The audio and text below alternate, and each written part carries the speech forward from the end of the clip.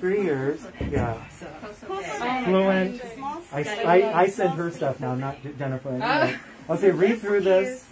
That is awesome. well, if there is ever any way, I mean, you probably know we live in Japan House. We, we wouldn't exist if it wasn't for South different from modern So, kimono. if there is ever stitched the anything that can help you that we can do, just This let me is all done It by is hand, of course. It's hand dyed, hand embroidered. Is that real gold? Uh, I was just gonna say, yep. It's It's all gold. So the golden threads are they do. wrapped in gold foils. I've been trying really hard to make Yep, this would be worn. Who wore this? Like, Probably either, and that's a really like good it. samurai, or potentially a very Absolutely. wealthy in merchant. fact, do Towards you, the middle of the what is Edo the best way to period, reach you? the classes started to get a Do you little have a business bit, plan? Or um, should I even? Do you even have business a little cards? more watered Japan down. House at You Illinois. could say, that we do. Okay. And then we'll get you Because her. it happened Yeah, was- yeah, yeah. perfect. Yeah. Because Just send us Tokugawa a- shogunate. If Or it's we could just Tokugawa send you family her ruled information Japan when we get home. I'll from send it to you. Yeah. 1603 Because to about if, the if it helps 1860s. get, you. get the mind great stuff. And what um, the Tokugawa clan decided to do that we did in order just to summer, we were cultural try to sponsors, uh, stop content the sponsors constant wars So we that did a were virtual going on exhibition. in we had Tiffany Japan. modeling Demon Slayer They pieces. decided we that also did an educational they were going to start a new capital motifs in and kimono, Edo, and we which is now used Tokyo. Demon Slayer as that was as kind of far an away point from the them. other So capitals, if you want to which get an were in idea of some of the Kyoto and we've Nara, and I can it kind of you moved around a little bit. can watch it. If It was gets always ideas Western. Japan. If you want to do something Okay. So they started One of the business making cards for me all of these uh, nobles Yes, of yeah, each I'll fief do. Yeah, if you could, keep yes. their primary Um, wife and firstborn son in yeah, Edo, Absolutely. So and anything they that we required them I would love it. to Definitely visit think you Edo guys once a year. together. Yeah.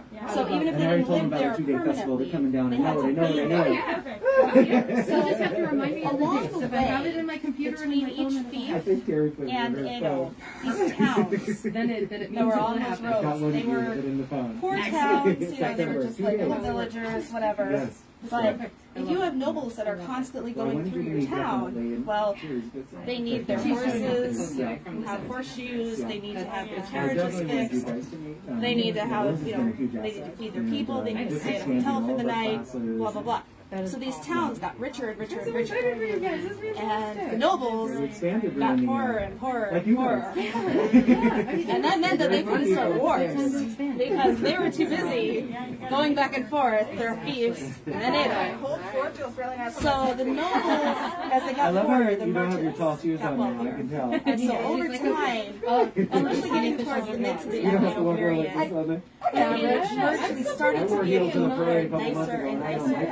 now, I wealthier. can tell. And so over She's like, time, Oh, especially getting towards the mid to the You don't have to Edo walk around like period, this all day. the merchants I started to wore heels in the parade a get couple months nicer ago. and I know, nicer my and feet took nicer. two I had days. heels. Two days And on so six-inch sometimes stilettos. the merchants Two are days better for the dressed feet to come down. I know. than the Oh, nobles. God. I, I, Which Those is are for why hours. it's a So- little so hard funny to story. be Yeah. completely sure if this was worn by, for example, a samurai wife or by a very wealthy noble. Of course. We're not Yes. sure. It doesn't have crests. So the whole thing. Yeah, yeah, it's, it's like, oh yeah, And I, I can test how much you have. Not what do you want, but how much you have it. And I looked at one and I was like, priceless sir, my my heart, you know, things that my I want you to serve a grandfather, of grandparents, minutes. and that's He's like, you go. yeah, we're such a young country. Look at you like a I, I have a bowler cap that is Yeah. hundred years old and in good shape. Yeah. That is still, I think. Oh, I know. Let me see that Terry I here real mean, you quick. might see something else that Hey, Terry. Yep. Can we steal you for one moment, please? No, you gotta give me one second. So this piece here. It's so is- Sato Sensei can get going. Oh, okay. So yeah. Sorry, yes. No, no, priority interrupt.